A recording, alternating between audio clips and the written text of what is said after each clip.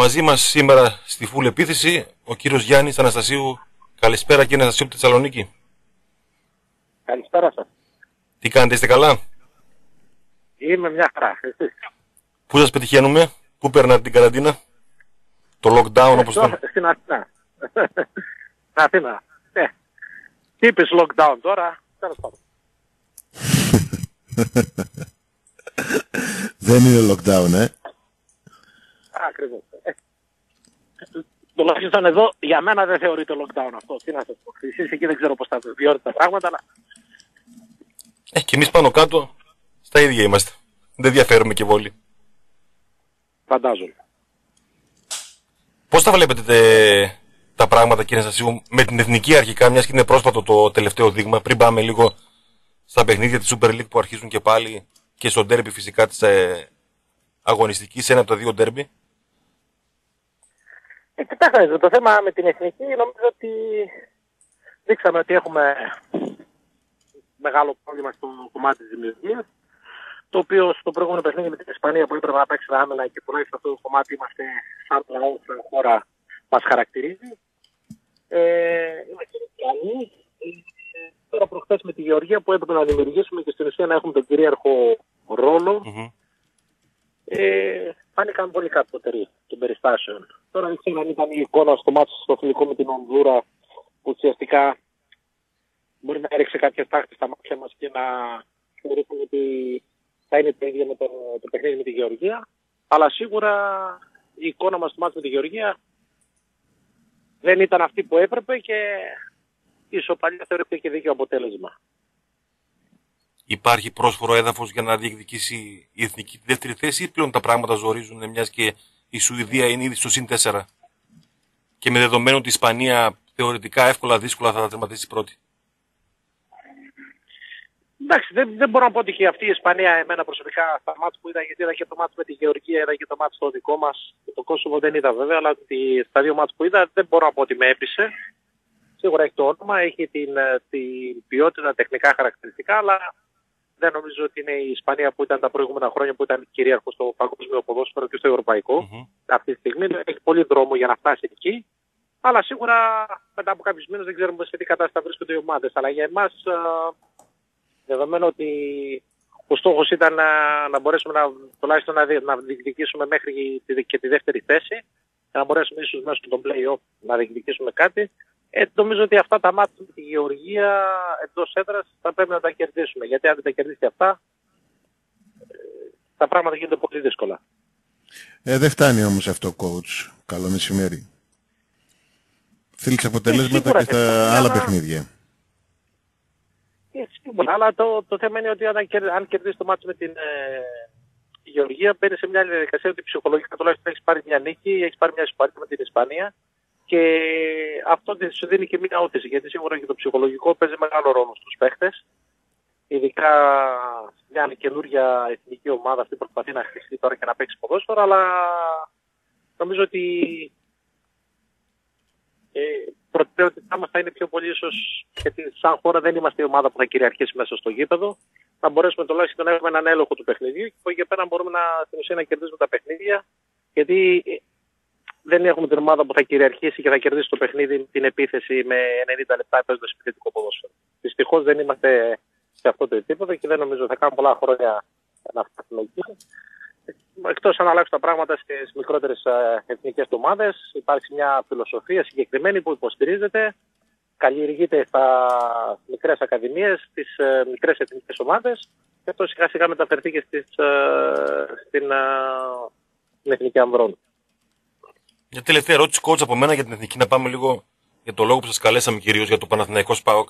Ε, έχουμε ποιότητα και μεσοπιθετικά. OK, okay, αμυντικά συνεχίζουμε και βγάζουμε αμυντικούς που παίζουν και σε μεγάλες ομάδες ε, του εξωτερικού και κάνουν καριέρα.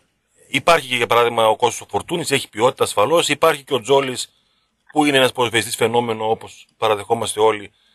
Διακρίνεται όμως να υπάρχει ένα πρόβλημα στην παραγωγή μεσοπιθετικών ποδοσφαιριστών. Δηλαδή καθαρό εξτρέμ έτσι υψηλού επίπεδου δεν νομίζω να έχουμε.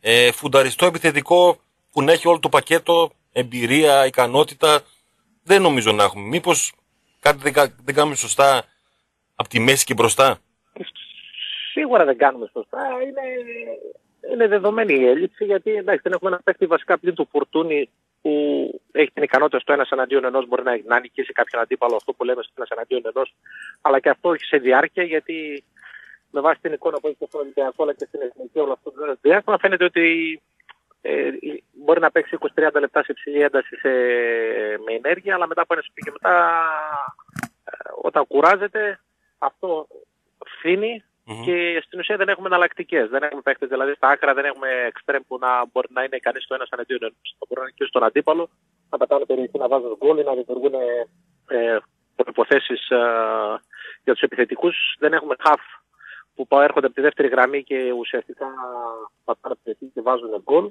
Είμαστε λίγο, είμαστε λίγο δύσκολοι σε αυτό το κομμάτι. Έχουμε αρκετούς παίχτε που θέλουν την μπάλα στα πόδια και αυτό κάνει κάπως λίγο προβλέψιμο το, το παιχνίδι μας. Από εκεί και πέρα νομίζω είναι όλα ε, σχεδιασμός και το τακτικό πλάνο και να, να εκμεταλλευτείς την ικανότητα και την ποιότητα κάποιων παιχτών όπως είπατε πριν του Τζιόλι, του Φορτούνη ε, αυτοί που, έχουμε, που έχουν τουλάχιστον μια ικανότητα μπορέσουμε να τους εκμεταλλευτούμε και να τους αξιοποιήσουμε στο έπακρο γιατί το Στάρμετ και ο Τζιόλι προχθές δεν ήταν ιδιαίτερα χαρούμενος που αγωνίστηκε από δεξιά μπορεί να κάνω και λάθος αλλά αυτό, αυτό έδειξε τουλάχιστον το, mm-hmm. το body language και ε, όταν παίζουμε ένα παιχνίδι εντός έδρας και δημιουργούμε μια ευκαιρία στα 90 λεπτά, εντάξει, δεν νομίζω ότι με τη Γεωργία δεν νομίζω ότι έχουμε, πρέπει να έχουμε πολλές απαιτήσεις. Μάλιστα. Coach έχει ανοίξει μια συζήτηση για το ενδεχόμενο επιστροφής Παπασταθόπουλου και Μανολά στην εθνική ομάδα. Ποια είναι η άποψή σας;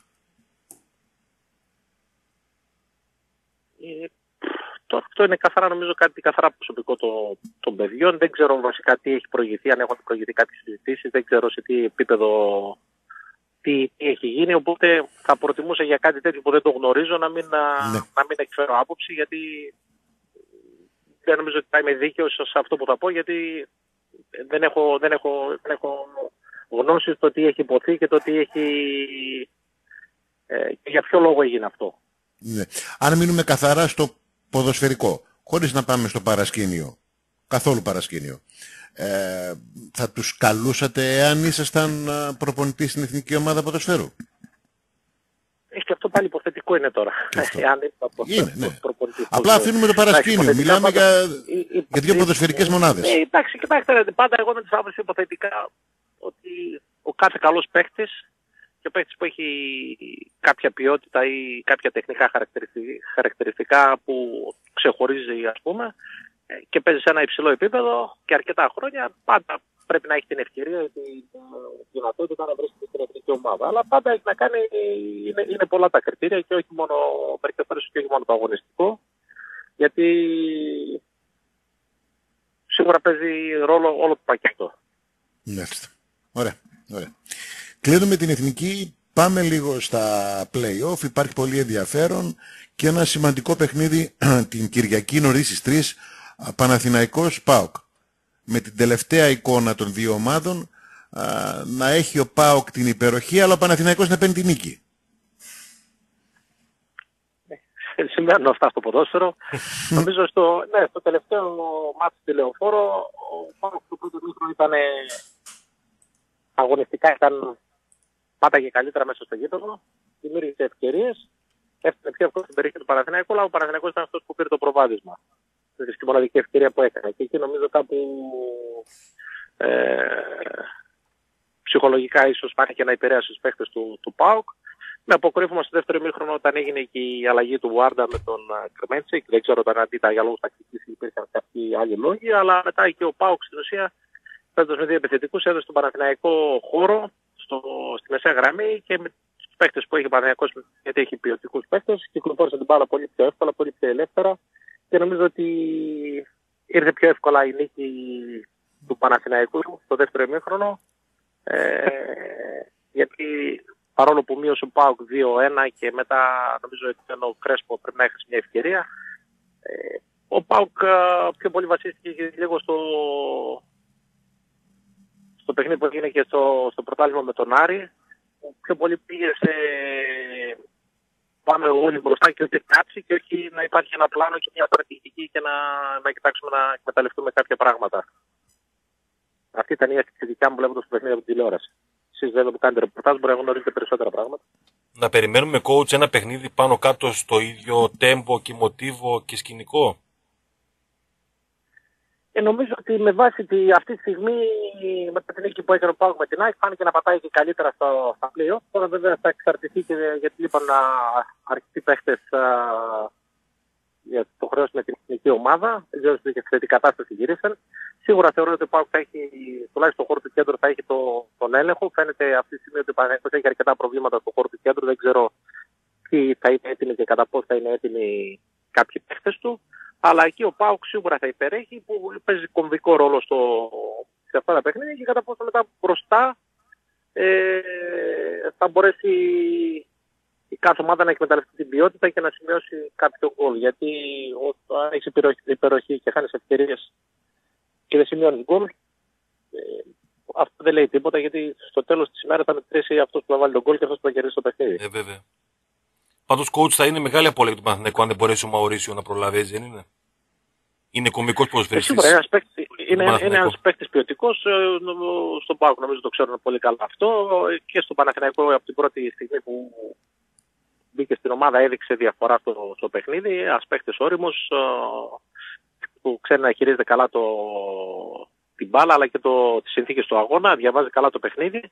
Και σίγουρα δίνει ηρεμία πολλές φορές και, το, και και κάποιες άλλες φορές α, επηρεάζει το τέμπο με την, α, με την γρήγορη πάσα, με την γρήγορη σκέψη που έχει είτε με πάσα είτε με κάποια κίνηση. Ε, αν, αν δεν αγωνιστεί σίγουρα θα είναι απώλεια για τον Παναθηναϊκό γιατί δεν υπάρχει και ο Σανκάρια στο κεντρο Ε, θα υπάρχουν α, αρκετές ελλείψεις για τον Παναθηναϊκό, γι' αυτό είπα και πριν θα παίξει μεγάλο ρόλο το χώρο του κέντρου κατά πώς θα είναι έτοιμοι οι παίχτες και σε τι κατάσταση δεν θα έχουν γυρίσει και οι διεθνείς αυτοί που, που λείπανε. Γιατί για τους προπονητές είναι ένα πρόβλημα όταν κάποιος παίχτης απουσιάζει 10 μέρες και πόσο μάλλον όταν έχει και κάποιο προβλήματα στον χώρο της μεσαίας γραμμής. Μάλιστα. Ε, τι εντύπωση σου έδωσαν coach οι ομάδες από την τελευταία φορά που τις είδαμε, δηλαδή ο Παναθηναϊκός στην Τρίπολη, ε, που ισοφαρίστηκε με τον εντυπωσιακό τρόπο που είδαμε, και ο ΠΑΟΚ με την ε, νέα του φιλοσοφία κόντρα στην ΑΕΚ μια φιλοσοφία, αν συμφωνείς και εσύ, πιο προσεκτική στην ανασταλτική λειτουργία, επίθεση μεν, αλλά προσεκτικά πίσω. Ε, ξεκινήσω τον Παναθηναϊκό, νομίζω ότι ήταν αρκετά καλύτερη εικόνα τους σε σχέση με τα προηγούμενα παιχνίδια. Για τουλάχιστον 70 λεπτά φάνηκε να ελέγχει το παιχνίδι, χωρίς να είναι καλός, αλλά δεν φάνηκε να έχει ιδιαίτερα προβλήματα στον Αστέρα. Ο Αστέρας ήταν μια ομάδα που σίγουρα χωρίς τον Παράλες είναι εντελώς διαφορετική μπροστά. Ε, και από ένα σημείο και μετά από το 70 έδωσε χώρο, ο Παναθηναϊκός έδωσε και το έναυσμα μάλιστα στον Αστέρα με την επιστοχώρησή του στο, ε, στο, στο αμυντικό τρίτο να δημιουργήσει τις προϋποθέσεις ο Αστέρας και έγινε όπως έγινε η, η σοφάριση. Ε, ο Πάοκ είχε μια εντελώς διαφορετική προσέγγιση στο μάτς ε, με την ΑΕΚ Σίγουρα έπαιξαν ρόλο τα τρία αμυντικά χαφ που χρησιμοποίησε στο χώρο του κέντρου. Mm-hmm. Που, ήταν μια διαφορετική προσέγγιση. Έπαιξε βέβαια και μεγάλο ρόλο η, τα γκολ που σημείωσε στις αρχές των ημιχρόνων, γιατί αυτά τουλάχιστον δώσαν δύο φορές το προβάδισμα, που στην ουσία ε, ξεκινήσαν με ένα μεγάλο, με ένα μεγάλο πλεονέκτημα το και έφυγε ένα ψυχολογικό βάρος θα έλεγα γιατί είναι σημαντικό να ξεκινάς στο ημίχρονο, πρώτο ημίχρονο, στο δεύτερο τώρα προηγήσει ένα μηδέν και στο στην άρχιση του δεύτερου μηχρόνου με το, το 1-1 στα πολιτήρια και στη, στην πρώτη επίθεση του δεύτερου μήχρονου σημειώνεις γκολ. Δίνει μεγαλύτερη όθηση στην ομάδα. Ε, το σημαντικό είναι βέβαια σε αυτό το επίπεδο και ειδικά στα play-off είναι η διάρκεια. Γιατί το να παίζει ένα μάτι καλό και ένα, το, το μέσο επόμενο να, είναι, να μην είναι τόσο ανταγωνιστικό ή να μην είναι τόσο σταθερό πλευράς απόδοσης αποτελεί ένα πρόβλημα. Και νομίζω ότι και οι δύο ομάδες, και ο Παναθηναϊκός και ο Πάου, στη διάρκεια της σεζόν δεν έχουν αυτή τη σταθερότητα. Δεν έχουν δείξει δηλαδή ναι. ότι μπορούν να παίζουν τρία-τέσσερα παιχνίδια συνεχόμενα στην ίδια ένταση και με το, το ίδιο ρυθμό και την ίδια παραγωγικότητα. Σωστό, σωστό, σωστό. Πολύ, πολύ ωραία η ανάλυση.